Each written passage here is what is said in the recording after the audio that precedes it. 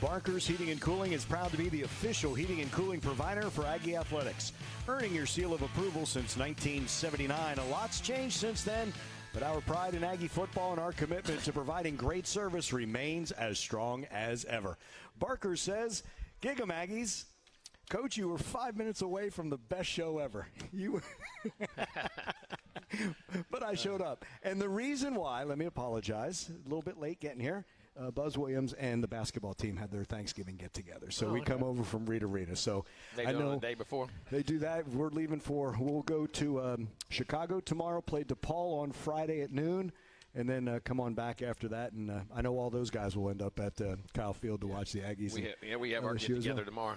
We, You- prac- we practice and practice it, uh, on the field at like 12:30, 12:45, and then we right after we have a big team meal, Thanksgiving meal. That's and and the players now are with the position coaches. yeah, they're that all, right? they're all at their position How coach fun. houses tonight. Yeah, How fun! so they'll get they'll get two nights of it.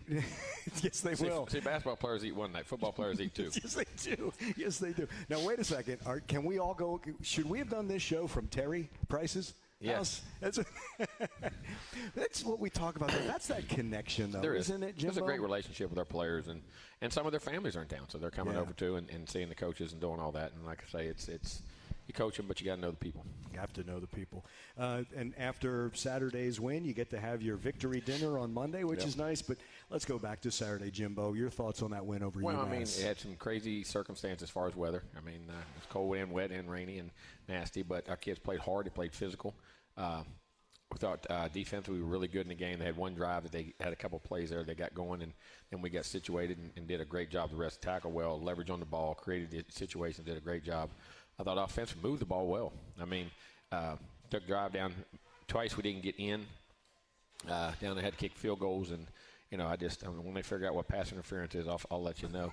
All right, but anyway, that's, I guess that's a jab I got to take. But we'll move Yes, on. you do. I mean, it's, it's getting crazy. But anyway, but then we scored a couple. But we turned it over. We turned it over three times. We turned it over to 14, the uh, 32, and the 11 going in, which is disappointing. Missed a couple field goals.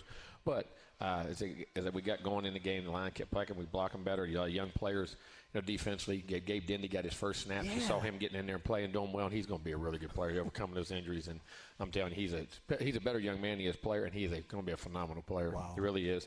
You saw more Le'Veon Moss. You know, some of those young guys, Amari Daniels. Saw Noah Thomas really start to make Mm-hmm. Yeah. some plays. Some of the younger guys in that. And I thought Connor really, for that situation, managed that ball. And some of, it was hard. It was hard conditions throwing it and doing the things he did, but managed that and got better special teams. Uh, so we had a couple field goals missed. It was a tough situation, but did a great job of catching punts. Kickers doing those kind of things, and you know, got a win, and it was good just to get a win again and understand how to f- that feels. we always talk, you and I, that that's part of development. The winning is part of that. Yeah, correct? and learning how to do it and overcome it and the whole thing, and just the things that go back and learning, remembering to win.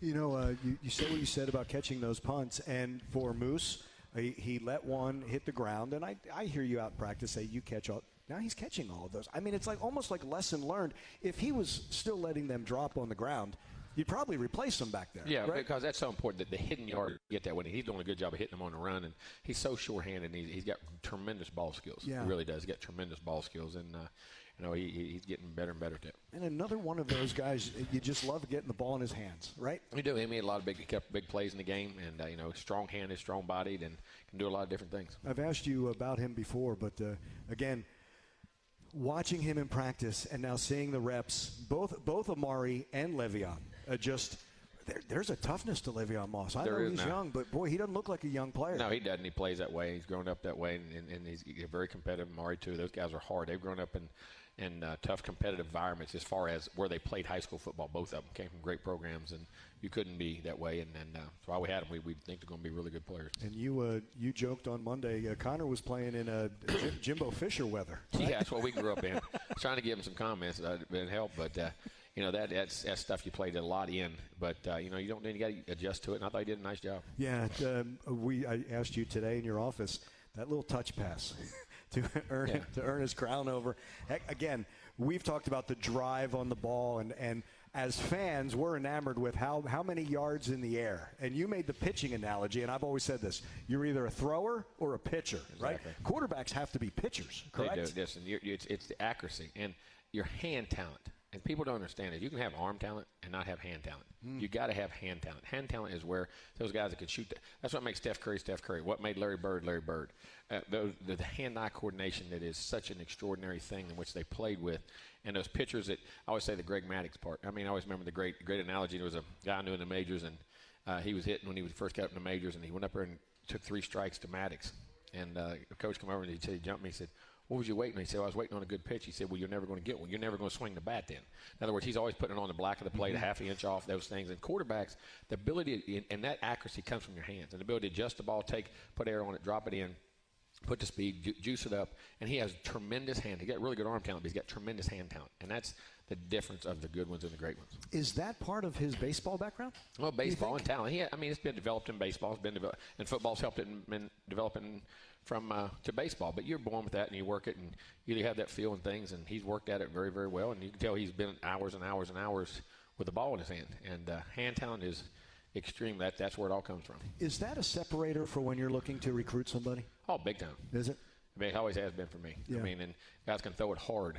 But where can they throw it? How can they throw it? And you know, and, and like I say, you don't always get the guys you recruit, but if you can get those guys with those great hands, man, it makes a world of difference. I mean, you go back and think the accuracy of I mean, even like Montana and those guys, they just weren't.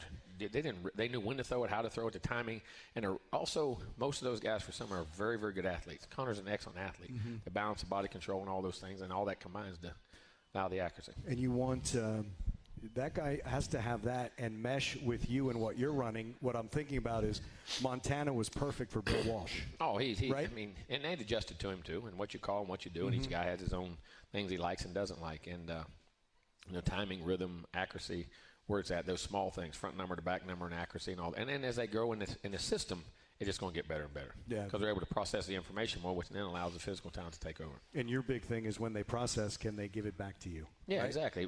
Listen, it all gets down to decision making and accuracy. No matter how you draw it up, every, decisions you make with the ball and the accuracy you have with it. At the end of the day, can I hit what the heck I throw at? Am I making the right calls to get to, to the right guy?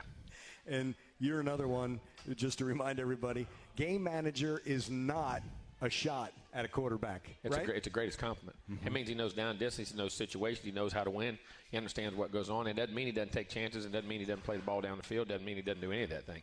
But you can be wild and crazy, have great stats, and not win. You know what I'm saying? I, have been through, I mean, you go through all of it.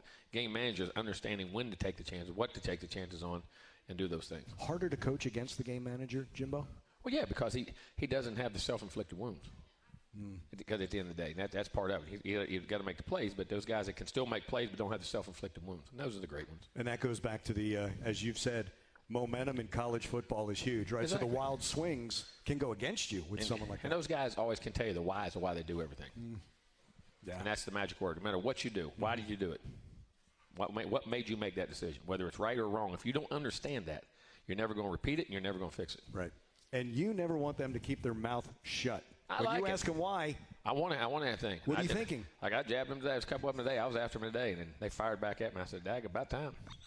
And I want, I want some. Jimmy, you got to have some fire. You got to have some juice. You got to have. Sometimes you got to, and you can't sit there and worry about doing it. You, you got to play. You got to react. Football's a reaction game. It's about seeing it, processing it, and reacting. And yep. it's not about thinking. No, and it's that's where that leadership comes in also. Well, leadership experience and it's the ability mm. to see how many times you can see it, and see the angles, and see the, you know, and, and know your people knowing what your guy does. That's why it's so important for every receiver to run a route, five full speed routes all the time. Mm. So you can judge him, you can see him, you can time him in practice, and know the angles he comes out of cuts, how he likes to do things, not half the time. Right.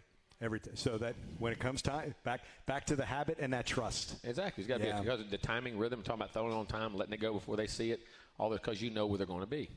Trust. He's Jimbo Fisher, head coach fighting Texas Aggies, taking on LSU on Saturday. We'll get to that, but more to talk about from last Saturday when we continue on the Jimbo Fisher Radio Show. It's presented by Capital Farm Credit. This is Aggie football from Learfield.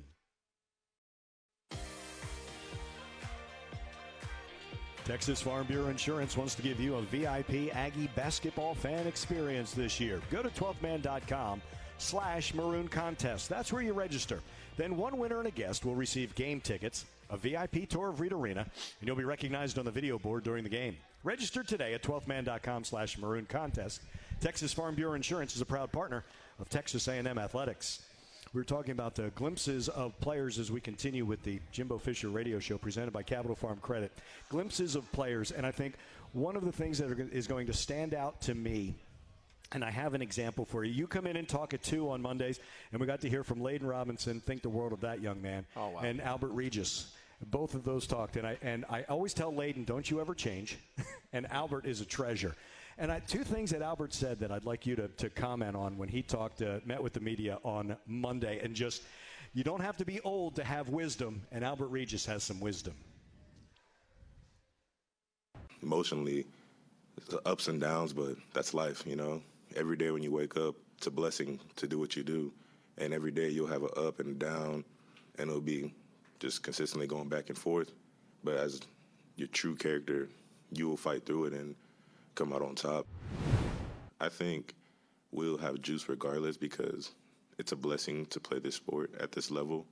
And what's not fun about that? This is our last time this season to step out in the Kyle Field in front of everyone, national television and put on another performance for them. So why not have as much juice as you can because of that, regardless of LSU? Why not have juice because you're blessed to do this, and not a lot of people are. They're listening. I mean, you, you do it. You, you never let your circumstances define you, and you get up every day to do what you do. And, and, and like everything isn't going to be perfect. There's going to be times it did, it isn't right. Mm-hmm. No, no, matter what it is, you got to figure it out and you go on. But you don't let that define you. You got to keep working. You got to keep driving. And like you say, this will prepare them for times in their life. Yeah. There's going to be times with family issues. There's going to be time with kid issues. There's going to be time with work issues. There's going to be time with everything in life. Because just when you start feeling really good, something always happens. I mean, and but learning how to persevere. And then, like I said, there's a lot of things about these kids. You you reveal it, but some guys never go through adversity. Right. Some kids, you know, you, you, you, oh, they're so good, they're so good, and they never deal with adversity. And all of a sudden, you see it when they get older, and all of a sudden it happens, and they fall apart. And it's not their fault. They've just never dealt with it. You know what I'm saying? And sometimes adversity is a blessing mm-hmm. because it makes you grow as a human being. Now, we all don't want the adversity. We want to we want to do it right. All those things. There's nothing more disappointing. We're not more. No one's more disappointed than we are. But at the same time, you don't let it define who you are and how you go about your business. And you do, you keep fighting for the inches to find the results you want. And that's basically what he's saying. You're having a blessing. Like we say, you dreamed of playing college football. You're doing it. You, when you're in the backyard, you're five, six years old, and you were watching the game on TV watching A&M and playing in, in the big games, and I want to be there in Kyle Field, and I'm in a bowl game, and I'm doing this, and you're here. I know it makes it's going to be it's going to be hard. Mm-hmm. Push through it. There'll, there'll, be there'll be sunny days that go with the rainy days. Absolutely, and I he is a student athlete who gets to play football. We have get to jobs. I, Ross Bjork said that. Uh, our director of athletics. We have get to jobs in sport. You get to coach these young men. I get to do the games. I get to go do basketball Friday. I get to go do football. Exactly right. It's get to right, and that's what well, he's saying at the end. You don't. It does. It doesn't matter if it's LSU and it's the rival. You get to so play. In our world Saturday. today, we think everyone thinks you quit if you don't get what you want. And I don't say me, but I mean that's well. What do you got to play for? What do you mean? What I got to play for? I'm playing the game I love to play. Why do, what do I mean? All right, I, maybe I'm not going to the championship game. Maybe I'm not going to. All right, but I'm still getting to play the game I've loved since I was as I can remember when. Mm-hmm. And we judge our feelings and how we think people should react based off results. They're they're a, a part of it. They define it as far as how we learn, but they don't define how we go about our business. And you know, in our world today, we don't give kids credit. I say young people, we don't give people credit. If things aren't going, we think everybody's going to leave, mm-hmm. everybody's going to go here, they're going to quit. We ain't going to play hard. Oh, they're, they're, so they're telling you you're not worth. You have no worth as a person. That that kind of pisses me off. Yeah. A little bit. You know, yeah. me as a coach and as a player and whatever. You're defining. You, you, you, I'm not saying I'm getting my results, but you're not going to define how I do my job. Right. And, and the enthusiasm or the joy I have of at least coming out and putting my helmet, helmet, pads on, and my uniform, and going to play ball. In fact, it's been you have told us it's been just the opposite. This young group says we're going to be the they, difference. They will, and, and, that's what I love about the character of them. I right. mean, they're they're growing from it, and we have to grow from it. We got to learn from it, but that's a fact. It's funny you say character. Uh, character. I was talking with um, we were talking with Buzz Williams about team chemistry. Jimbo, he said, replace the word chemistry with character. Yeah. Teams that have good character have good chemistry. Yeah, because they? they care and they figure it out and they do what they got to do to have success and. And it, it's a learning process, but it's also a selfless process. And you're seeing now, you're seeing these young players. It's starting. They get it. Yeah. And and, and I think also when you you you have adversity, you start to really realize what's around you. and the people around you. Not only judging them, you judge them. You judge the people around you, how they talk to you, the people that interview you, your people. You, you see their you see their intentions or mean demeaning and things like that as far as how they, they want to see it. And that's an educational process, and that's part of growing up. Yeah. Are they only their friends when you're successful? Yeah, or how they go about it and everything, you know. It's just the way, it's, it's a great learning tool. Yeah, it really is. He's Jimbo Fisher, head coach of the Fighting Texas Aggies, LSU on Saturday. That is at 6. We'll continue with the Jimbo Fisher Radio Show. It's presented by Capital Farm Credits. And this is Aggie Football from Learfield. The Jimbo Fisher Radio Show is brought to you by Capital Farm Credit, the largest agricultural lender in Texas. Capital Farm Credit, together, we're better. Effie has checked in for the final time this season. Effie says, Happy Thanksgiving. Happy Thanksgiving. Happy Thanksgiving. Okay, this was the, one of those weird thoughts that I had last Saturday. Is Senior Day also emotional for you? Oh, yeah, it is very much. I mean, it, it, it's it's it's a time that's coming to an end of players and people you love and you've gained, you have a relationship with. You know what I mean? It's just like this Saturday. You talk about that's the last senior game, but that's the last time that group of players will ever play on the field together. I mean, when you, you that that time of going to practice and game, it's the last time that group will ever ever be together. That whole group for one game for one situation. And you know, those are you don't think about it like that, but it is. You don't. It's a very brief. We're all you know. It's four years, three, four, five years are all brief brief times. Day, days are long, but the years are short, right? They are. Yeah, and we've talked about this in those in those reunions down the line. These are the types of things they remember. Some of those practices where they were. Oh, that's all they remember. I mean, you'll remember games. It's the practices and who did what, when did what, who had. I mean, there'll be stories like crazy. I always tell them. I always say this. You always, you don't think about it this way. When you're walking up to the reunion, when there's they're already there, and you walk up, and you're walking, and the guys see you. What are they saying about you as you're walking up? What are they saying about you as you're walking up?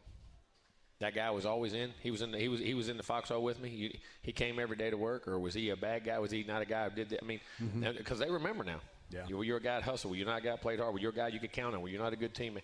Or you know, we, I remember one day me and him got in a fight, and, and a good thing. Then we hugged afterwards. You know, we were both going at it. Which some of our guys, you know, they were the best friends would get into. You know, I mean, but that's at the end of the day, the wins, losses. I mean, that's what you're getting measured by now. Yes. Twenty years from now, you measure by how you interacted with your teammates, coaches, and everybody else, and what you meant to that group, and how you did your business, how, what you did on a daily basis, and the process you went through for them and all of y'all to be successful. Right. Were you a selfish guy? Were you not? Were you a team guy? Were you not? That's. Were you a tough guy? Were you not? did you play bang? Did you play bruise? Did you give everything you had? Were there pe- did you leave the, enough pieces of you on the field? Yeah. Yeah. well, that's what we talk about. It's, you're exactly right. Yeah. And the farther the, the, the farther you're The removed, respect. The respect ultimately is that right. You don't want someone to be walking away from you when you come into that. We're so reunion. You much in a lifetime on- now, and how many this, that, and the other. Yeah. All that. It don't matter what that social. What you said.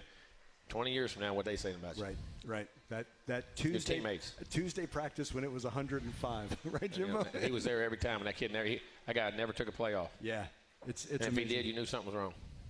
right. I mean, there, you know, that's that whole, that whole point. thing. I mean, that whole thing about that. That's at the end of the day. That's what this whole thing's about. That's what I think about. Yeah, yeah. Why you you're the guys that you can depend on. Okay, why is he not here? You're concerned. The guys that you don't care about, I, I'm okay. I didn't even notice if he's here or not. Yeah, I mean, but, you know, it's just you, you, you set your and what you you control what happens to you, and it has nothing to do with talent. Right. Doesn't have to do with production. Doesn't have that guy right there on the scout team. He did everything in the world for us that day. He was on special teams. He did this. He did that. You remember your coworkers, your people, your Yeah. people in your family, and you, like I say, you, you got family members. Some you're related to. Some you love. Some. no, I, I joke, but I mean, or some you could always count on them. yes. Who was the one in your family? Yes. No matter what it was, was it what brother, what sister, what aunt, what uncle, what mom, what dad? I mean, you know, who was the one you could go to? Yeah, absolutely. That's what they're going to remember. right. And then over the course, hey, I remember when you were at this position. You were fourth string, then third. And you worked and you went and you moved positions to go play and you became this and you did that or you, I mean, eh, that's that's Yeah, yeah. that's what this thing is. You, you've always said this. Two things have always stayed with me. Who's looking back at you in the mirror, and when you put your head on the pillow at night, yep, right? you're exactly right. It's you're You the know. only one who can answer that. You're, You're the, the only you one. are the only one. Can't fool that guy. Can't absolutely You try to. We'll lie to him, but we mm-hmm. can't fool him. Can't fool him at all. He's Jimbo Fisher. We'll continue with the Jimbo Fisher Radio Show. It's presented by Capital Farm Credit. Stay with us. This is Aggie Football from Learfield. Howdy, Ags. Andrew Monaco here, inviting you all to visit Costa Vida Fresh Mexican Grill. Baja style Mexican, made from scratch daily, serving breakfast tacos, lunch, and dinner. Aggie owned by our friend Holly, operated in South College Station. We continue with the Jimbo Fisher radio show. It is presented by Capital Farm Credit. Bigger picture, Jimbo, don't need specifics. After Saturday, one possibility, even at five and seven, if you win, of being in a bowl. Can you be considered for that? No. Okay, no. gotcha. Uh, give me a little bit of a timeline of what happens in December. Early signing period, obviously. Yeah, we're actually there's off. A, there's a week you can't go on the road, uh, which is next starts on Monday to Friday, and then you're on the road. We're now on the fro- next two and a half, three weeks till signing day. So we'll be we'll be visit pounding and pounding the road and recruiting. Yeah, um, I truly believe this. I think a lot of people are going to be surprised at this recruiting class. Yeah, they will, and I think we're in good shape with a lot of guys. We're going we're to make some headway, and and then like I say, the different ways of recruiting now. Like I say, you still got portals and all the things that Right. swing that around, and uh, we'll hit needs in which we have there, but we'll hit the needs in the high school first. And on, the guys we have right in the class, we're very very high on. And not everybody on in December because February that with that signing day, Oh, yeah, right? But it's, a, it's a first thing, and sometimes that relationship continues for the next couple of months. Oh, it does. with That- them. yep, no doubt. Your thoughts on early signing period? I like it. I think it get takes some pressure, especially when you're in the bowls, knowing all that stuff. You get it's hard right now. I mean, it makes it crazy hard when you're all those things you're doing right now. But at the same time, when you're done, take some pressure off in January. You know, and you get those guys signed. and You get some guys in the boat because you know you- even you go through all that, you're still waiting to January. The longer it goes, the worse it is to me. So much easier for you than when you hit the ground running when you got here. Oh yeah, that Yeah, was like without that was doubt. plate spinning, wasn't Yeah, it was. for That- you? you know, those change because you got those two weeks and then you're going. Yeah, exactly right. yeah. Bobby Brown was a big one in that one, wasn't Yes, he? Yes, he was. Yes, he was in that first class. He was. He was a huge one. That was that was the eye opener, right? Yeah. And you always said we've got to out recruit the teams that are in the college football playoff. Exactly right. That's, Right. You, got to get, get the same level of guys and the things that go on. And like I say, I think we got a great nucleus for this team. Is on this team. We got to keep keep adding to it. Yeah, and uh, I think fans also don't understand, and you've reminded us in the Monday media veil that there are some players they like coming here for this challenge, right? Yeah, I mean- some will say, "Hey, you're not winning, I'm not coming," right? No, but others will say, "I want to be part of something. I want to be to make a difference. I want to do this. I want to see and then see that. And it's also uh, uh, the whole A and M experience and everything else that goes with it. yeah, yeah. But also your history and track record. How You've had a year, but at the same time, what's been the past history and your history for you know it, it, us as coaches, things that go on. I mean, one year doesn't doesn't define that as far as a lot of people. Like and then when you're making decisions on things, you know what I'm saying? It doesn't for me. I look at a, a cumulative thing. It goes back, and people. History is a great teacher. And and you were talking about when we were talking about LT Overton. You've known him from the camps. This isn't a relationship that you're starting in the next two weeks, just before. Right? No. These are relationships that go on Well, a you while. get started in high school, and sometimes, like you say, you have them in grade school, junior high, all the way up through camps. And we've had quite a few of our guys we've signed, and a bunch of them we're on right now that we've had camps for a while. Yeah, so that, that familiarity. And if if you change as a person, right, that would change their decision Yeah, or something like that. There's relationships there, and, and they're built over time. Yeah, it's it's it's huge. It's it's something. I think some people just think, well, bad year, bad recruiting. That's not not the case at all. We've seen we've seen throughout college football that you can easily make that jump. Oh, you make that jump jumps everywhere. I mean, you look at where people are, what they're doing, and, and and also I keep saying the portal allows that. I mean, there's huge changes. I mean, for instance, the team we're about to play the secondary has four or five portal guys. Quarterback, quarterback's a portal guy. Yeah. A couple receivers, linemen, offensive linemen. I mean, that's that's the that's the world you live in today. Uh, and because the old rules were very different, I get it. But an awful lot going SEC school to SEC school. Oh yeah. which is which that didn't happen in the but again I go teams would block other teams Yeah, you, but it used to be on the portal. You, Yeah. could, you can't go play teams you're playing, all that type of stuff. But it's different now. We'll talk about LSU in a little bit, but uh, talking with uh, some of their people, it's like, you know what? This was a year we didn't have a lot of injuries.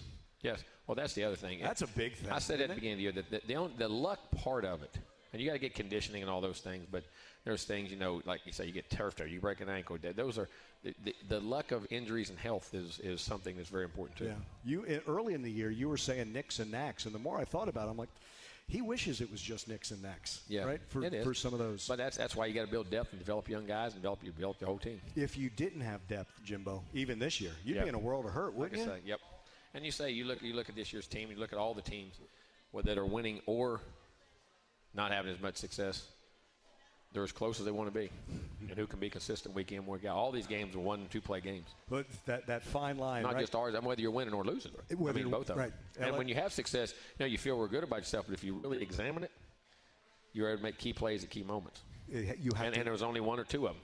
There were three, maybe three at the most. And and, the, and guess what? It's Going to be the same way next year. It- and hopefully, the experience you have from what's going on now, you're able to translate that into success. and all these guys back to experience. All these guys who got had this baptism by fire, right?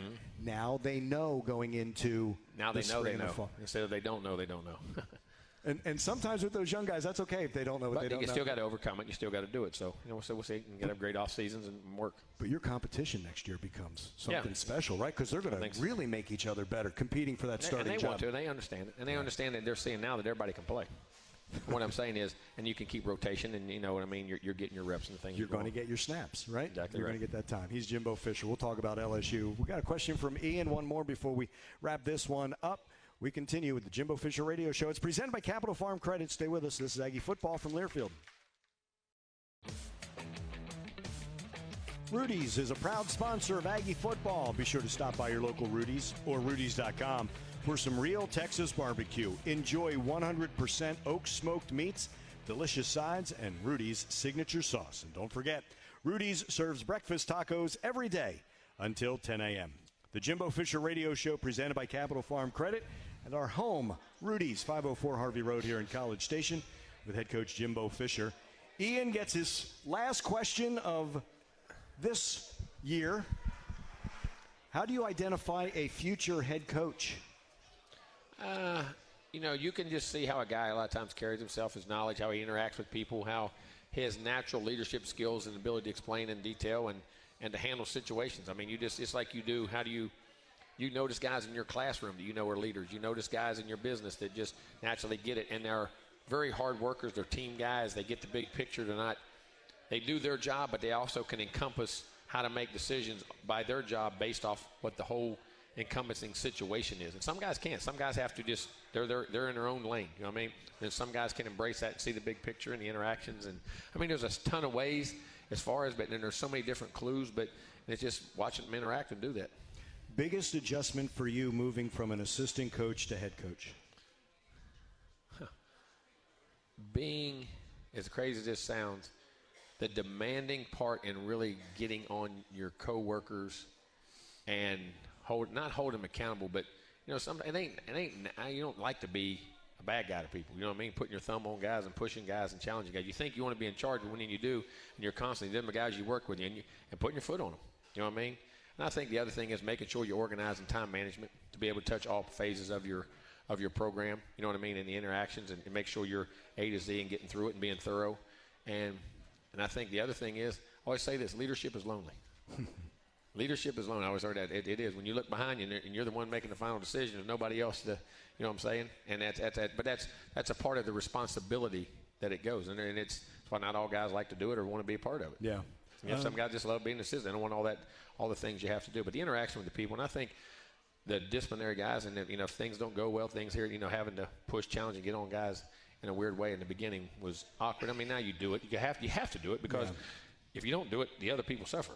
Right. You know what I'm saying? But But- that's why you brought him in, right? Because you've talked with them before. Exactly. They've got to fit. And I think when you lead, I mean, it's just you know, you don't always everybody say, "Well, I'm in charge. I can do what I want to do." Well, you do, but you don't want to. I mean, you want to get things done. You ain't trying to show power. You, you Yeah. have to do when you have to. You made a comment once. You coach your coaches. No, you do. You got to coach your coaches. This is what I want. This is how I want. This is how I want it to get across to the players.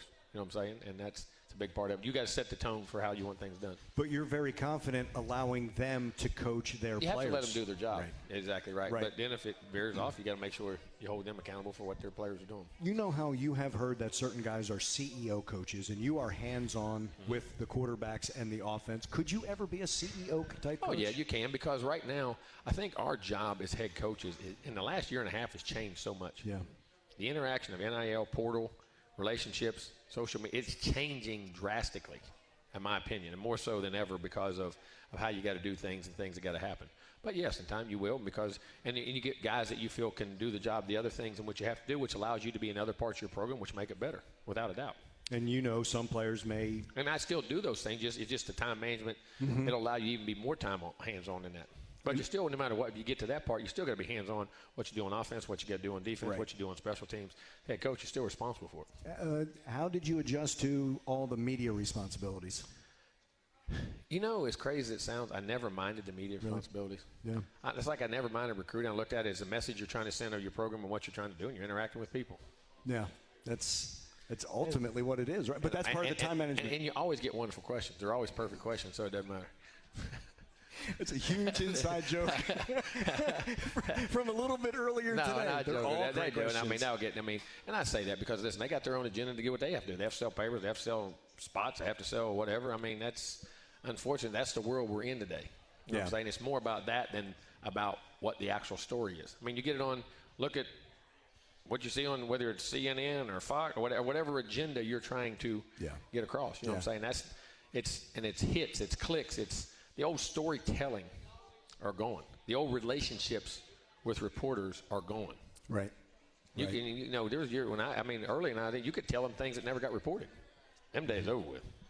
And I Very mean much that- so. But it, and it's their, but their job. They're trying to keep clicks, hits, their their business and thing. I get it. I mean, it's you're on two different agendas. Right. Right. But it, you've always been one. Hey, you need an answer? Ask me the question. Exactly right. No, I mean, I'm gonna give it to you. I mean, Don't don't And- don't and just not going to- assume what the answer is. exactly right. And don't don't think. I mean, because of situation, the truth doesn't change. Correct. The right things to do don't change, and they don't shouldn't change you. That's exactly right. And that's always been a constant everywhere you've coached, everywhere you've played, right? Mm-hmm. Always. Try to be. Buzz, Buzz Williams, his, his team, rule number one, always tell the truth. Right? It is. You got to. You don't have to. You don't have to remember the lie, right? No, exactly right. you just have to remember telling the truth. I still remember my old man. if you ever tried that stuff, I mean, I'm telling don't think those things didn't affect you when you were a kid.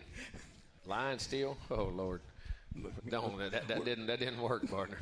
We are writing a book together. You know that? I'm gonna. I, I want the. I, you know what? If I nothing else, I want the stories. stories. There's some. He's Jimbo Fisher, head coach of the Fighting Texas Aggies. We take on LSU. The final segment of this year's edition of the Jimbo Fisher Radio Show, presented by Capital Farm Credit. It comes up next. This is Aggie football from Learfield.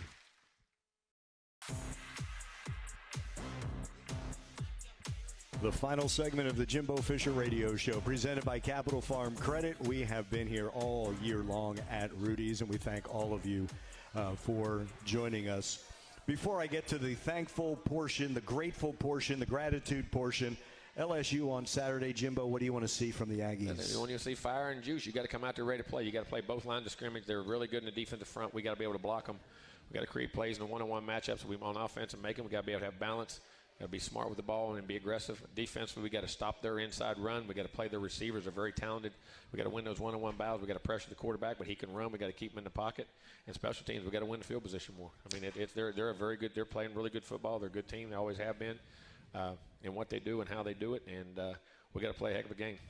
You mentioned uh, Jayden Daniels being a guy that you either running quarterback, they're designed, or from the play. It's a little bit of both. Yeah, it is. You talked about his example as a, as a runner. He is, and he's had a lot of time in the pocket. He's, he's very experienced, and he makes great decisions when to do it, when not, to do it. You've always said guys with the hands in the dirt. They're start, now. Look, you get to week number 12, and freshmen aren't always freshmen, but to have two freshmen, true freshmen, at tackles like LSU, and the way this defensive line for Texas A&M, that's going to be one of the many battles, right? It is. You always we said gotta, that we gotta hands win in the dirt. We got to win those guys up front. We got to be able so we can help the guys in the back end and put pressure on the quarterback. I just watched McKinley Jackson, Jimbo, and you talked about disruptive, and he's a guy that you almost can't take your eyes off 35. No, you can't. And like I say, we know we never even had him to Alabama. He Right. hadn't been full speed to the last two or three weeks. I mean, so those are parts of it. But he is uh, he's he's playing really good football. If you don't get the sacks, Jimbo, do the tackles for loss work out just, uh, you know what I mean when I say you gotta, just you as gotta, well? you, yeah, you do. Negative plays. Negative plays. You got to create negative plays, and, that, and that's what really get, sets an offense off its course and goes back. The other nice thing I thought about Saturday against UMass was the chunk plays that the Aggies were able to get. Yeah, we that have- was really you- nice. and you got to create big plays on offense, and and uh, we're going to have to do it on uh, Saturday. That's for sure. And you always say, how do you react to your own big plays? Yeah, right? and then to build Not off just the, the momentum and success of them and all the things that go on. Exactly right. Yeah, that's a, it's a, it's a fascinating matchup, and uh, again, to what you said, you play for each other, and what Albert said, you're, You the get a chance juice. I love the, the juice. Yeah, you get to play out there. I mean, what is on why would you? Why would you not? Yeah. And like I say, people who watching you, NFL people branding you that hey things aren't going well. Hey, I'll draft that guy. Look, no matter what the circumstance, look how he plays. Yeah, they're getting to show a lot more. Does it uh, sometimes stand out a little bit more in quote unquote big games for NFL people, or no doubt because they want to see how you handle them. They want consistency, but they also want to see how you, if you if you can take that next step. I say in big games, your your star players have to play good, big in big games. Mm-hmm. That's the nature of the beast. If you're going if you're going to be a really successful team, they have to. With a runner like Jayden Daniels, so much better to have Antonio Johnson. Oh yeah, there. oh yeah, getting him in there and the safe and allows, allows other guys to get to be moved and keep guys in good position. Yeah, and as you say, now you can have your guys. You can pick and choose where you want your young guys to get exactly their right. snaps, right? Where you haven't had that choice over well, the course of the year, hey, right? That's just the way it goes. That's ball. To the thankful portion, thank you, my friend. No, thank Absolutely you. appreciate. Been awesome. Again, another great year. Uh, didn't get what we wanted out of result wise, but the, the, relationships is great. And thank you for everyone y'all showing up each and every weekend and the loyalty and everything goes on into our fans on the 12th man. And we'll be there Saturday. We're to play our tails off. We're going to get it right. I promise you. And wonderful to meet Matt and Tammy from Calgary. That's where they are from. They got a chance to meet head coach Jimbo Fisher right here. Thank you so much for coming down here. Thank you, as always, for being here. And to this guy right here, all the time and what he invests every single week on this Jimbo Fisher radio show presented by Capital Farm Credit. My thanks to Kevin Menchow, who has been the engineer, not just of the Jimbo Fisher radio show, but also every Saturday. He'll be with us on Saturday, 5 o'clock with the St. Joseph Health pregame show, and 6 o'clock is the kick for the Aggies and the LSU Tigers. 5 o'clock pregame, 6 o'clock will be the kick. Antonio Neal is the producer of the Jimbo Fisher radio show, Aggie football, Aggie basketball, Aggie baseball. He's the one that we rely on. Show in and show out back at our Learfield studios. To Matt Francis as well for all the times that I send him something and it magically appears on this show. My thanks as well. And once again, to everybody here at Rudy's, thank you for being here, for joining us all along the network. Thank you as well. Every check in behind the mic on the Facebook page of Aggie Football Again, we appreciate you spending this hour with us every single Wednesday. Again, we'll talk to you on Saturday, 5 o'clock pre, 6 o'clock kick, and high noon on Friday for little Aggie basketball as they take on DePaul. Happy Thanksgiving, everyone. Thanks for being with us. Thanks and gig 'em. This is Aggie Football from Learfield.